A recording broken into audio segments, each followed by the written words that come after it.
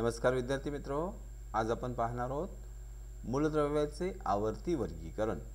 या धड्यामध्ये मूलद्रव्य मूलद्रव्यांचे वर्गीकरण विविध शास्त्रज्ञांनी केलेले मूलद्रव्यांचे वर्गीकरण त्यामध्ये डोबेरन चित्रिके न्यूलँडचा अष्टकाचा नियम मेंडेल्यूची आवर्त सारणी आणि आधुनिक आवर्त सारणी.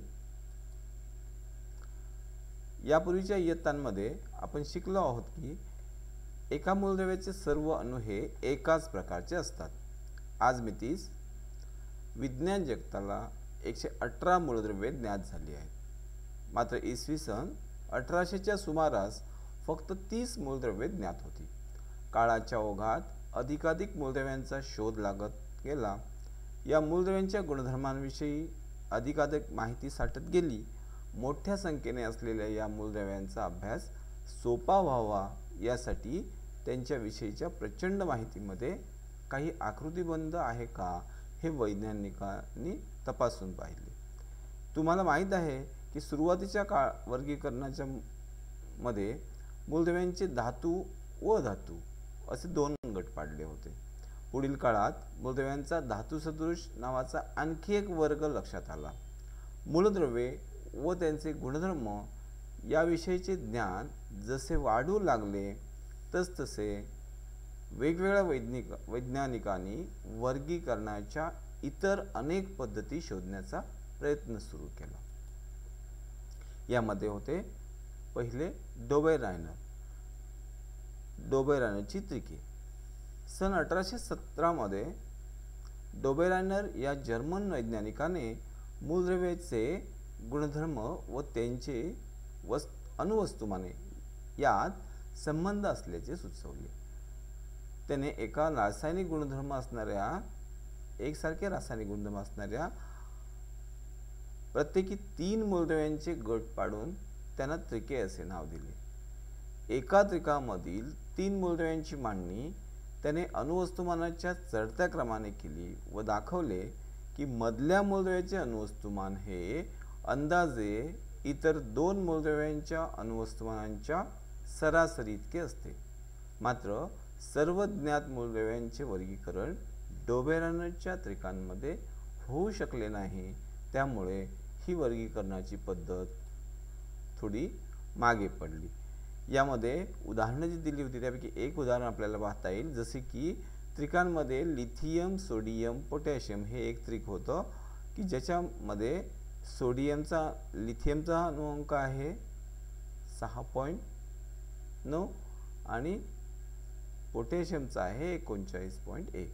या दोघांची बेरीज पहिल्या आणि शेवटच्याची बेरीज करून भागिले दोन म्हणजे सरासरी जर काढली तर ते त्याचं उत्तर येतं तेवीस. आणि त्यामुळे सोडियमचा अणुवस्तुमान तेवीस आहे. अशा पद्धतीने पहिल्या आणि शेवटच्या मूलद्रव्याच्या अणुवस्तुमानांकाच्या सरासरी इतके अणुवस्तुमान मधल्या मूलद्रव्याच्या अवतीत येते. अशा पद्धतीने त्रिकाचा नियम इथे डोबेदानांनी मांडला होता. अशाच पद्धतीने तीन तीनाचे गट करून इतर काही मूलद्रव्यांच्या बाबतीत हा नियम लागू पडू शकतो हे त्याने सिद्ध केले होते. पण सर्वच मूलद्रव्यांच्या बाबतीत हा नियम लागू पडत नसल्याने हा डोबेदानाचा प्रयत्न थोडा यशस्वी शंभर टक्के ठरू शकला नाही. न्यूलँडचा अष्टकाचा नियम. इंग्लिश वैज्ञानिक जॉन न्यूलँड्स याने एका वेगळ्या मार्गाने अणुवस्तुमानांचा सहसंबंध मूलद्रव्याच्या गुणधर्मांशी जोडला.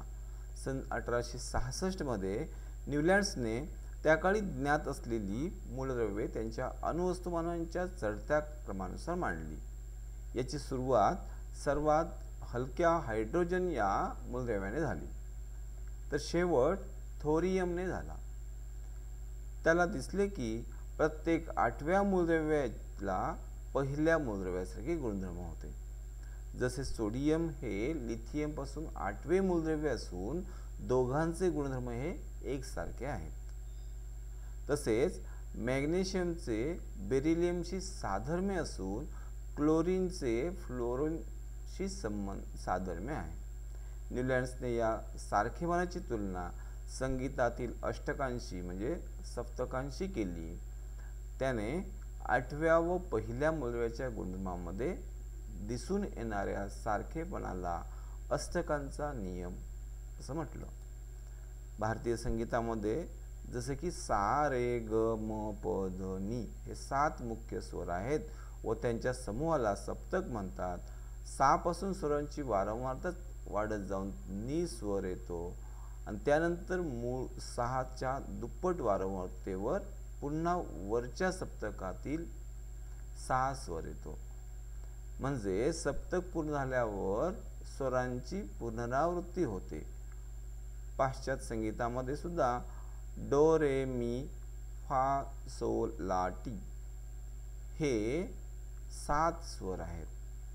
व आठव्या स्थानावर दुप्पट वारंवारतेचा दो स्वर पुन्हा येतो.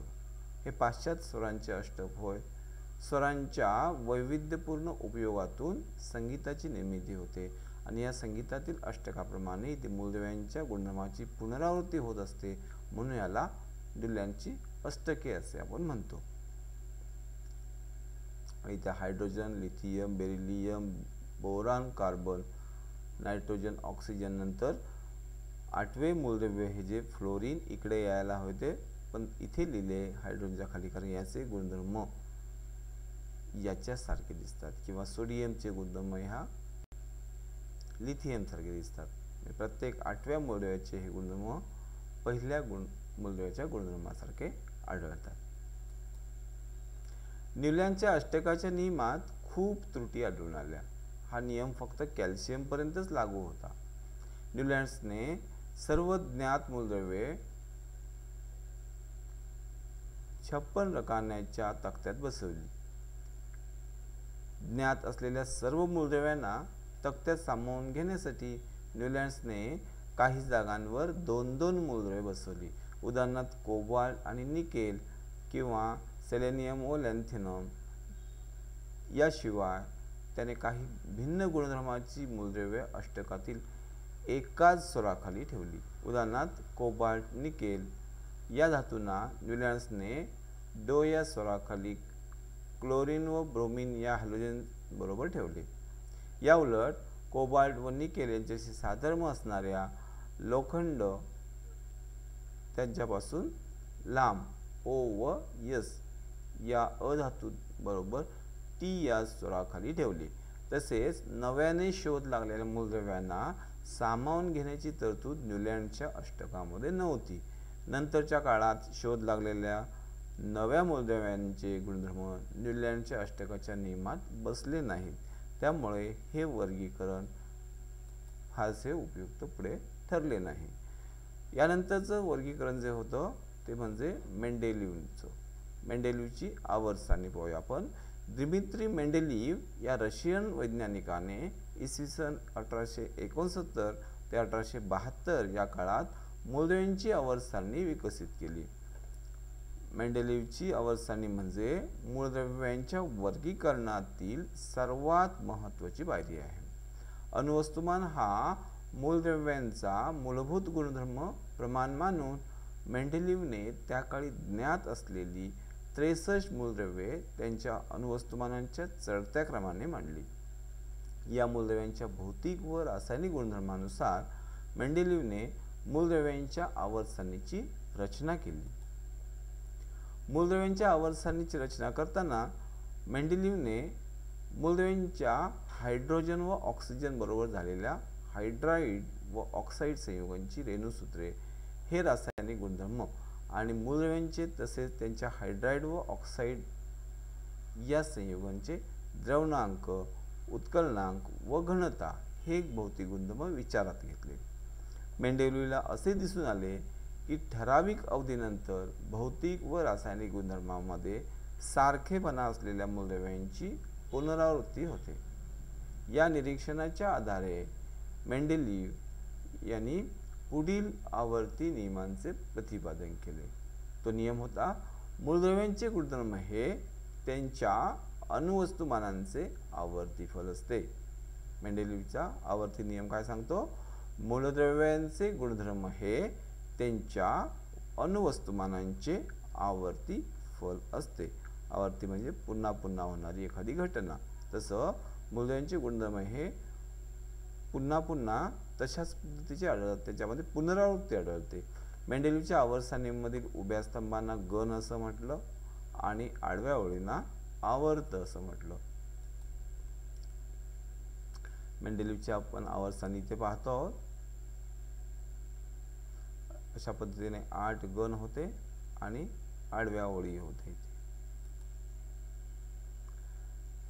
दिमित्री मेंडिलीच्या बाबतीत हे सेंट पीटर्सबर्ग विद्यापीठात प्राध्यापक होते. त्यांनी मूलद्रव्याच्या अभ्यासाच्या हेतूने प्रत्येक ज्ञात मूलद्रव्यांसाठी एक एक एक कार्ड बनवून त्यावर मूलद्रव्यांचे अणुवस्तुमान दर्शवून अणुवस्तुमान व गुणधर्म यांच्या आधारे कार्डाची जी जुळणी केली त्यातून मूलद्रव्याच्या आवर्त सारणीचा शोध लागला. म्हणजे आवर्त सारणीचा शोध हा मेंडेलिवने लावला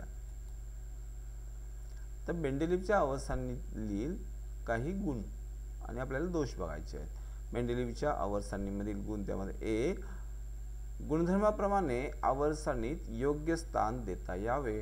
म्हणून काही मूलद्रव्यांचे अणुवस्तुमान पुन्हा तपासून दुरुस्त करण्यात आले. उदाहरणार्थ बेरिलेमचे आधी ठरवलेले चौदा पॉईंट शून्य नऊ हे अणुवस्तुमान बदलून नऊ पॉईंट चार असे दुरुस्ती केले व बेरिलियमला बोरॉनच्या आधीची जागा दिली. नंबर दोन मेंडेलिवने आवर्त सारणीमध्ये काही जागा रिक्त ठेवल्या होत्या ज्यांचा शोध लागला नव्हता. त्यापैकी तीन अज्ञात मूलद्रव्यांना जवळच्या ज्ञात मूलद्रव्यावरून त्यांनी इका बोरॉन इका ॲल्युमिनियम इका सिलिकॉन अशी नावे देऊन त्यांची अणुवस्तुमाने अनुक्रमे चव्वेचाळीस अडुसष्ट बहात्तर असतील असे दर्शवले होते. इतकेच नव्हे तर त्यांच्या गुणधर्मांचे भाकीतही केले होते. पुढे या मूलद्रव्यांचा शोध लागून त्यांना अनुक्रमे स्कॅन्डियम गॅलियम व जर्मेनियम अशी नावे देण्यात आली. या मूलद्रव्यांचे गुणधर्म मेंडेलिवच्या भाकिताशी जुळणारे आढळले.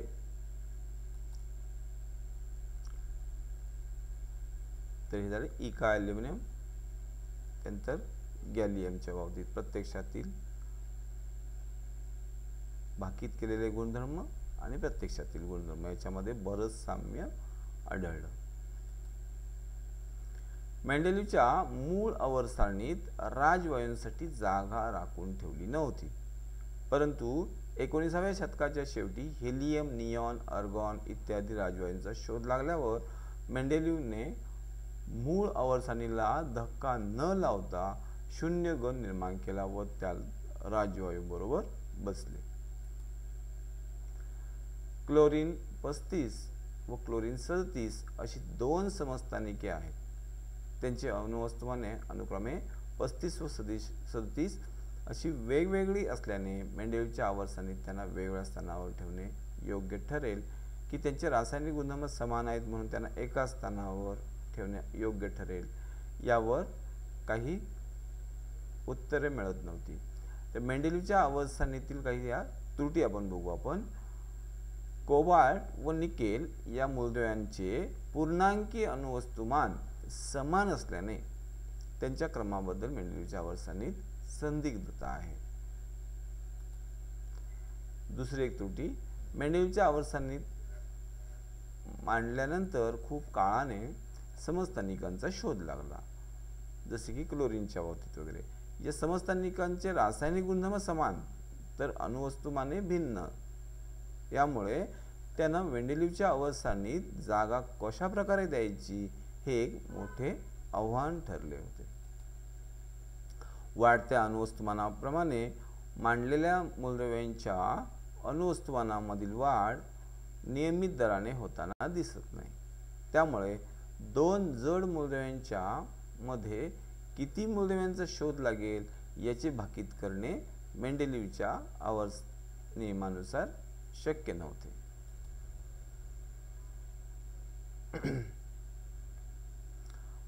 हायड्रोजनचे स्थान. हायड्रोजन हा हॅलोजनशी साम्य दर्शवणारा आहे. जसे की हायड्रोजनचे रेणूसूत्र एच टू आहे तर फ्लोरीन क्लोरीन यांची रेणुसूत्रे अनुक्रमे F two C L two अशी आहेत. तसेच हायड्रोजन व अल्कधातू म्हणजे गण एकमधील यांच्या रासायनिक गुणधर्मामध्ये ही साधर्म्य आहे. हायड्रोजन व अल्कधातू म्हणजेच सोडियम पोटॅशियम इत्यादी यांनी क्लोरीन व ऑक्सिजन यांच्याबरोबर केलेल्या संयुगांच्या रेणुसूत्रामध्ये सुद्धा साधर्म्य आहे. वरील गुणधर्मांचा विचार केला तर हायड्रोजनची जागा अल्क धातूंच्या गणात म्हणजे गण एक की हॅलोजनच्या गणात म्हणजेच गण सात हे ठरवता येत नाही. म्हणजे हायड्रोजनच्या स्थानाबद्दल आपल्या मनामध्ये दोन्हीमध्ये बसण्याची शक्यता वाटते. गण एक आणि गण सात. हे आहे हायड्रोजन व हॅलोजनमधील साम्य. धातूंबरोबर संयोगी आणि अधातूंबरोबर संयोगी.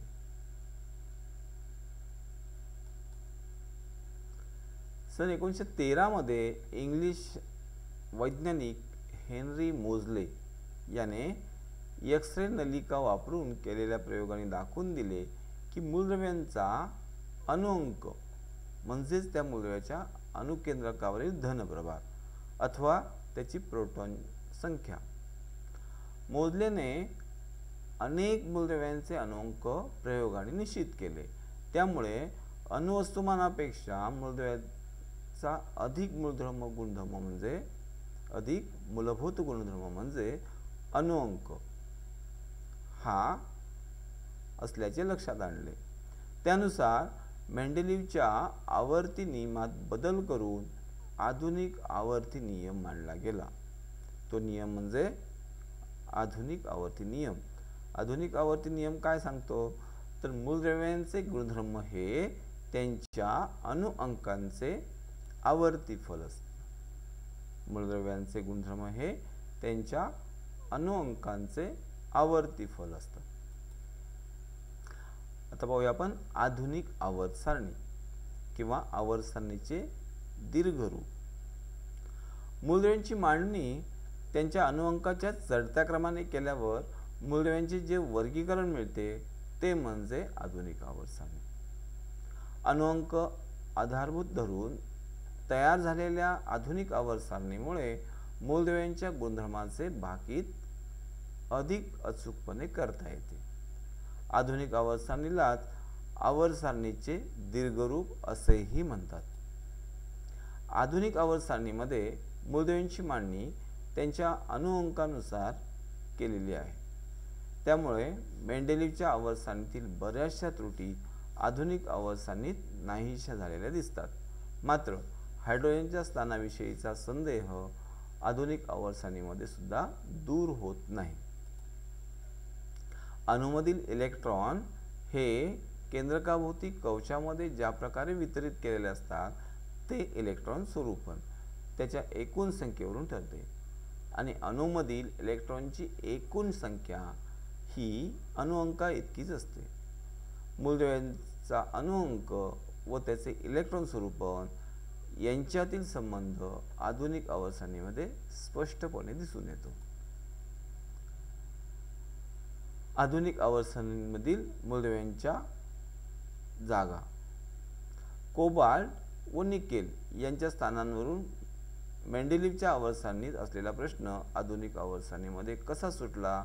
त्यानंतर क्लोरीन सदतीस व पस्तीस या समस्थानिकांची जागा आधुनिक अवस्थानीमध्ये कशा प्रकारे निश्चित झाली? किंवा क्रोमियम मॅग्नीज या दोन मूलद्रव्यांच्या दरम्यान त्रेपन्न व चोपन्न अणुवस्तुमान असलेले मूलद्रव्य असू शकेल का? आधुनिक आवर्त हायड्रोजनला कोठे ठेवावे? असे तुम्हाला वाटते? हॅलोजनच्या गण सतरामध्ये की अल्क धातूंच्या गण एकमध्ये? या सर्व प्रश्नांची उत्तरे या आधुनिक अवस्थांनीमध्ये मिळाली. आधुनिक अवस्थानीची रचना. आधुनिक अवस्थानीमध्ये सात आडव्या ओळी आहेत. म्हणजेच एक ते सात आवर्त. तसेच या सारणीत अठरा उभे स्तंभ आहेत. म्हणजेच एक ते अठरा गण होत. आवर्त व गण यांच्या रचनेतून चौकटी तयार होतात. या चौकटींमध्ये वरच्या बाजूला ओळीने अनुअंक दर्शवलेले असतात. प्रत्येक चौकट ही एका मूलदेवाची जागा आहे. सात ओळींव्यतिरिक्त आवर सारणीच्या तळाशी आणखी दोन ओळी स्वतंत्रपणे दाखवल्या आहेत. त्यांना अनुक्रमे लॅन्थनाइट्स श्रेणी आणि ॲक्टेनाइट श्रेणी असे म्हणतात. दोन श्रेणीसहित आवर सारणीमध्ये एकशे अठरा चौकटी आहेत. म्हणजेच आधुनिक अवस्थानीमध्ये एकशे अठरा मूलद्रव्यांसाठी जागा आहे. अगदी अलीकडच्या काळात काही मूलद्रव्यांची निर्मिती प्रयोग सिद्ध झाल्यामुळे आता ही आवर्त सारणी पूर्ण भरलेली आहे व सर्व एकशे अठरा मूलद्रव्ये आता शोधली गेली आहेत. संपूर्ण आवर्त सारणी एस खंड पी खंड डी खंड व एफ खंड. S P D F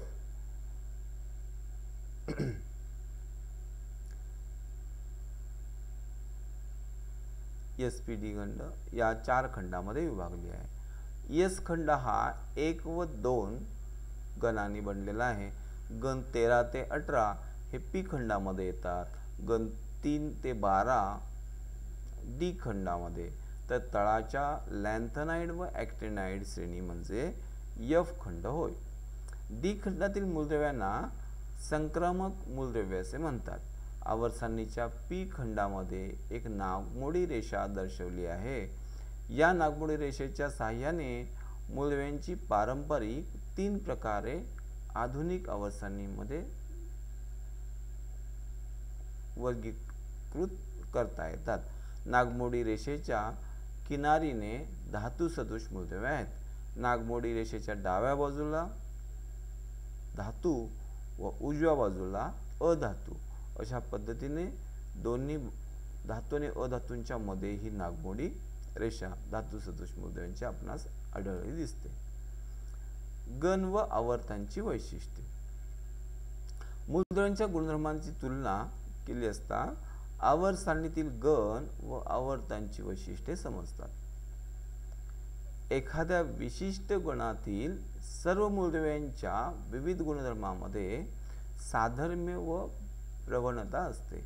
मात्र एखाद्या विशिष्ट आवर्तामध्ये एका टोकाकडून दुसऱ्या टोकाकडे म्हणजे डावीकडून उजवीकडे जाताना मूलद्रव्यांचे गुणधर्म क्रमाक्रमाने थोडे थोडे बदलत जाताना दिसतात.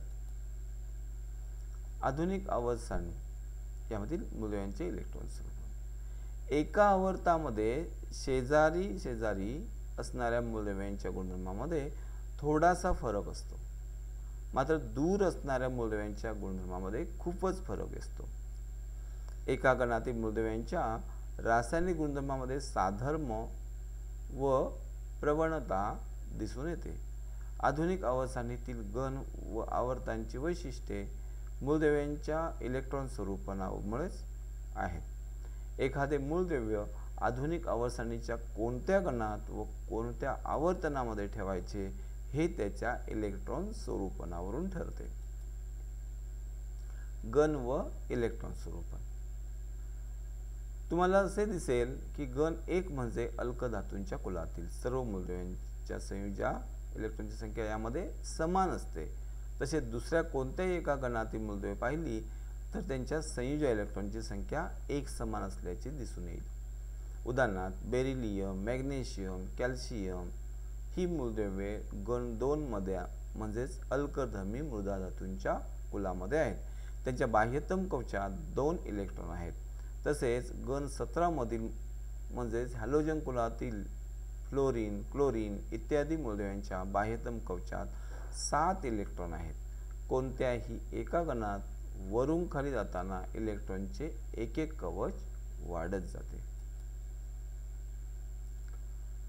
आधुनिक अवस्थांनीमध्ये मूलद्रव्ये त्यांच्या चढत्या क्रमाने अनुक्रमांकाप्रमाणे चढत्या अनुक्रमांकाप्रमाणे मांडलेले आहेत. उभ्या स्तना उभ्या स्तंभांना गण म्हणतात. एकूण गण अठरा आहेत.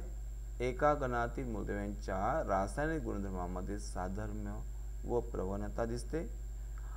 आडव्या ओळींना आवर्त असे म्हणतात. एकूण सात आवर्त आहेत. एका आवर्तामध्ये एका टोकाकडून दुसऱ्या टोकाकडे जाताना मूलद्रव्यांचे गुणधर्म हळूहळू बदलत जातात. अणुअंक ब्याण्णव असलेल्या युरेनियम या मूलद्रव्यानंतरची सर्व मूलद्रव्ये जी आहेत म्हणजे त्र्याण्णव ते एकशे अठरापर्यंत ही मानवनिर्मित आहेत. ही सर्व मूलद्रव्ये किरणोत्सारी व अस्थायी असून त्याचे आयुष्यमान खूप कमी असते. तर इथे आपण पाहतो आहोत हा आहे यस खंड हा पी खंड त्यानंतर हा डी खंड आणि एफ खंड. ही नागमोडी रेषा आहे ज्याच्यामध्ये या दरम्यान धातू सदृश मूलद्रव्य आहे याच्या डाव्या बाजूला सगळे हे धातू आहेत. आणि उजव्या बाजूला हे सगळे अधातू आहेत. तर अशा पद्धतीने एस पी डी एफ आणि धातू अधातू व धातू सदृश अशा वेगळ्या पद्धतीने वर्गीकरण तुम्हाला दिसतील. हे उभे आहेत हे गण आहेत अठरा गण आणि आडव्या वळी एक दोन तीन चार पाच सहा सात. अशा सात आडव्या ओळी आहेत त्यांना आपण आवर्त असं म्हणतो.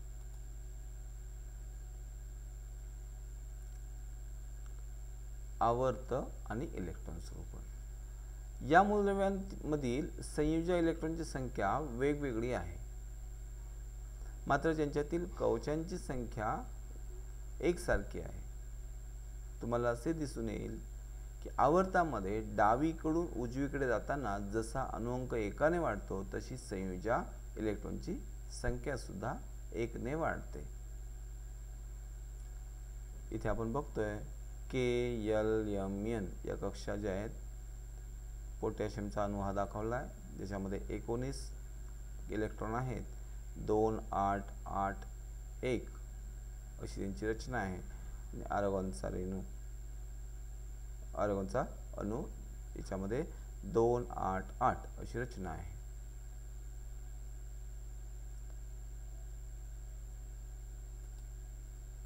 आपल्याला असे म्हणता येईल की ज्या मूलद्रव्यामधील इलेक्ट्रॉन असलेल्या कवचांची संख्या एकसारखी असते ती मूलद्रव्ये एकाच आवर्तात असतात. दुसऱ्या आवर्तातील म्हणजे lithium beryllium boron carbon nitrogen oxygen fluorine neon या मूलद्रव्यांच्या के व यल या दोन कवचांमध्ये इलेक्ट्रॉन असतात. आणि तिसऱ्या आवर्ताच्या बाबतीत sodium magnesium aluminium silicon phosphorus sulphur chlorine argon या मूलद्रव्यांच्या बाबतीत के यल यम अशा तीन कवचांमध्ये इलेक्ट्रॉन असतात. या मूलद्रव्यांचे इलेक्ट्रॉन स्वरूप लिहिल्यानंतर आपल्याला खात्री होईल. आधुनिक अवस्थांतील एका डा आवर्तामध्ये डावीकडून उजवीकडे जाताना बाह्यतम कवचात इलेक्ट्रॉन भरले जातात. आणि पुढचं आवर्त सुरू होत असताना नवीन इलेक्ट्रॉन कवच भरायला सुरुवात होते. प्रत्येक कवचामध्ये किती इलेक्ट्रॉन राहू शकतात? त्याची धारकता किती आहे? तर के ची धारकता आहे दोन यलची आठ यमची अठरा आणि यांची बत्तीस. कवचाच्या इलेक्ट्रॉन धारकतेनुसार पहिल्या आवर्तात दोन मूलद्रव्ये आहेत दुसऱ्या आवर्तात आठ मूलद्रव्ये आहेत.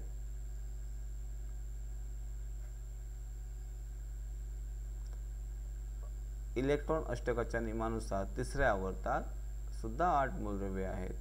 आणि आवर्तामध्ये इलेक्ट्रॉन भरण नियंत्रण करणारे काही घटकसुद्धा आहेत.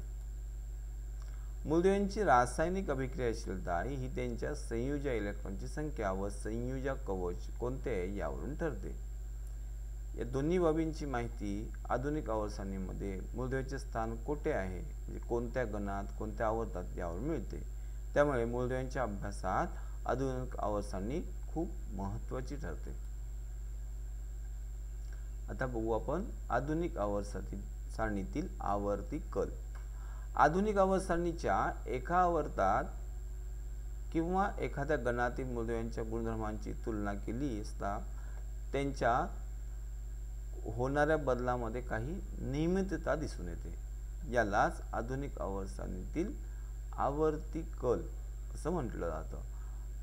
आपण या इयत्तेत फक्त मूलद्रव्यांच्या संयुजा अणू त्याचे आकारमान व धातू अधातू गुणधर्म या तीन गुणधर्मांमधील आवर्ती कल विचारात घेणार आहोत. तर संयुजा संयुजा म्हणजे काय? मूलद्रव्यांच्या अणूच्या बाह्यतम कवचात असणाऱ्या इलेक्ट्रॉनच्या म्हणजेच संयुजा इलेक्ट्रॉनच्या संख्येवरून संयुजा ठरत असते. जसे की बाह्यतम कक्षेमध्ये एक इलेक्ट्रॉन आहे म्हणून याची संयुजा एक. तर बघू आपण अणूचे आकारमान आकारमान हा द्रव्याचा मूलभूत गुणधर्म आहे. हे आपण मागील इयत्तेमध्ये पाहिले. आहे अणूचे आकारमान त्याच्या त्रिज्येने दर्शवले जाते. अणुत्रिज्या म्हणजे अणुकेंद्रक व बाह्य कवच यामधील अंतर होय. इथे विविध मूलद्रव्यांच्या त्रिज्या दाखवलेल्या आहेत. Oxygen boron carbon nitrogen beryllium आणि लिथियम त्यानंतर इथे अणुत्रिजा व्यक्त करण्यासाठी एक एककही सांगितलं ते म्हणजे नॅनोमीटरहून लहान असल्यामुळे ती पिकोमीटर हे एकक वापरलं जातं. अणुत्रिज्या वापरण्यासाठी पी एम म्हणजे पिकोमीटर हे एकक वापरलं जातं. आधुनिक आवर्तनीमध्ये तुम्हाला दिसेल की आवर्तामध्ये डावीकडून उजवीकडे जाताना अणुत्रिज्या कमी कमी होत जाते. यामागचे कारण एका वर्तामध्ये डावीकडून उजवीकडे जाताना अणुअंक एक एकाने वाढत जातो. म्हणजेच केंद्रकावरील धनप्रभार एक एक एककाने वाढत जातो. मात्र त्याप्रमाणे भर पडलेला इलेक्ट्रॉन हा असलेल्याच बाह्यतम कवचामध्ये जमा होतो.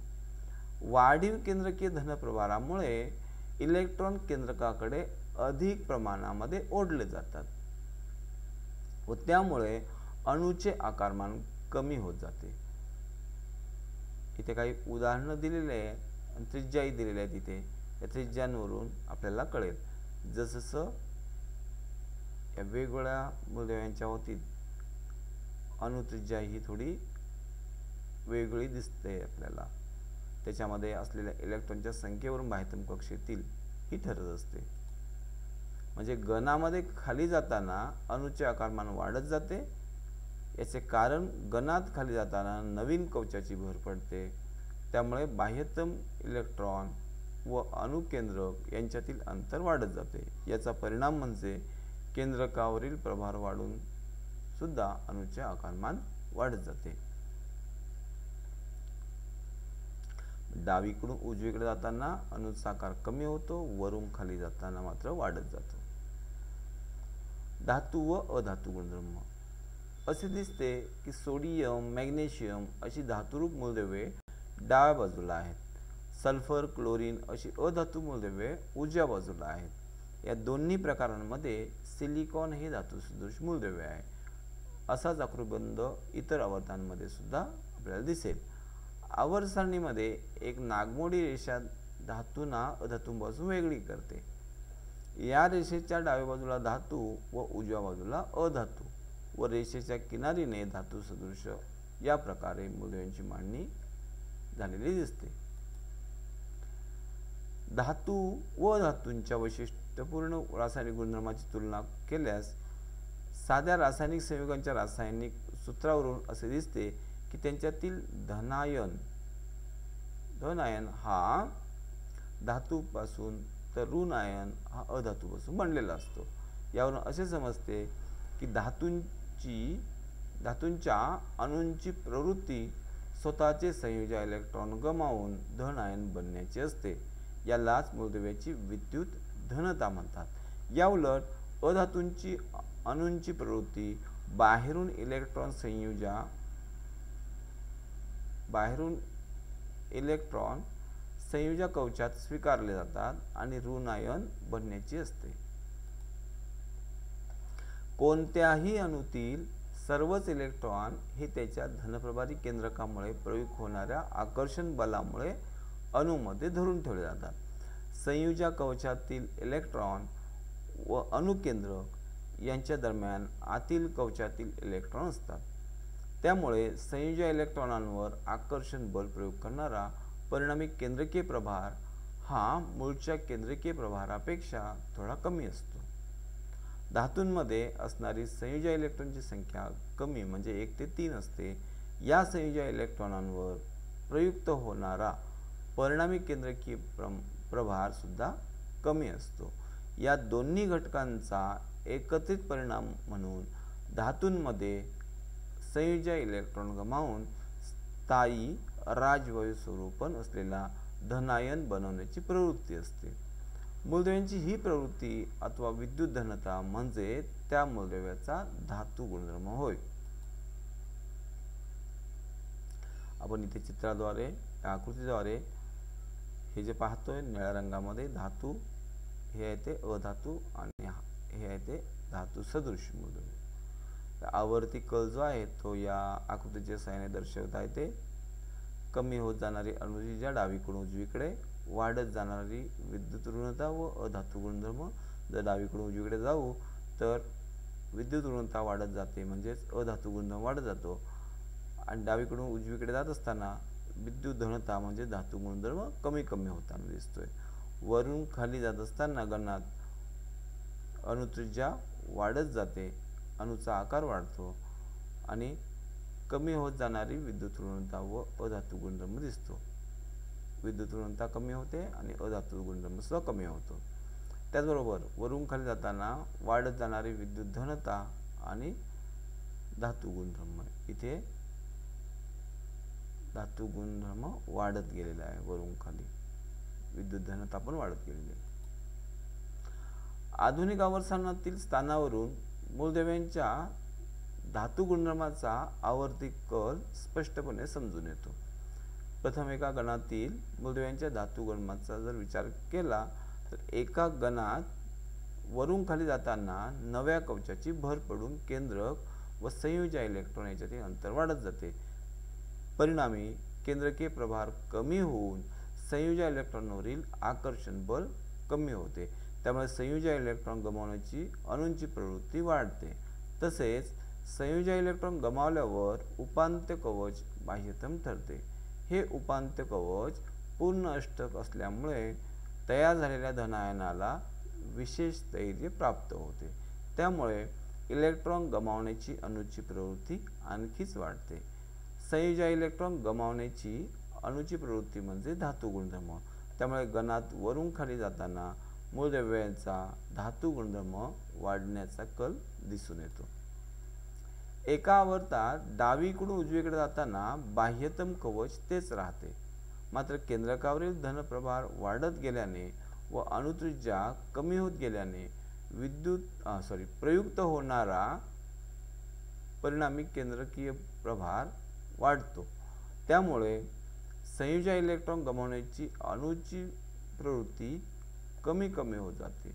म्हणजेच आवर्तामध्ये डावीकडून उजवीकडे जाताना मूलद्रव्यांचा धातू गुणधर्म कमी कमी होत जातो.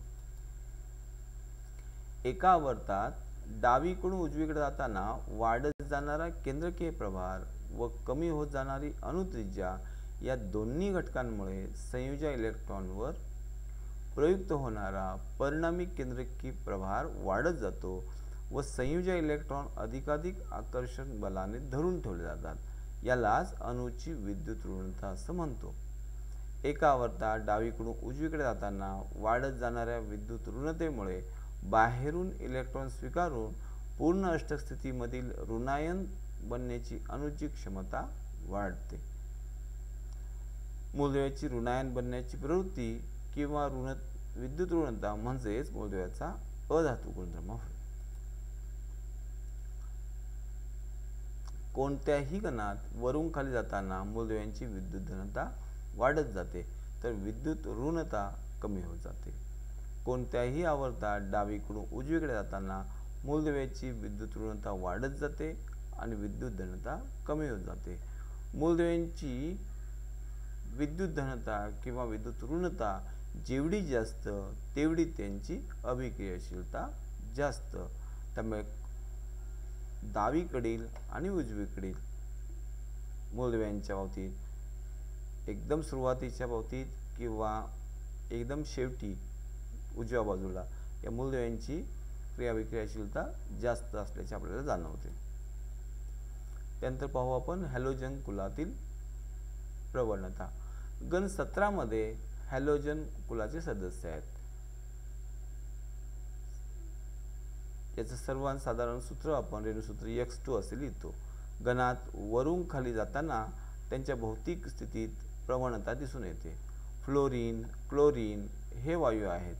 ब्रोमिन हा द्रव आहे. तर आयोडीन हा स्थायू आहे. तर या सर्व संदर्भांचा मूलद्रव्यांच्या वर्गीकरणामध्ये आपण इथे विचार केलेला आहे. विद्यार्थी मित्र हो या वर्गीकरणामध्ये असे डोबेरायनरपासून ते मोजलेपर्यंतचे हे वर्गीकरण थोडक्यात मांडण्याचा या धड्यामध्ये प्रयत्न झालेला आहे.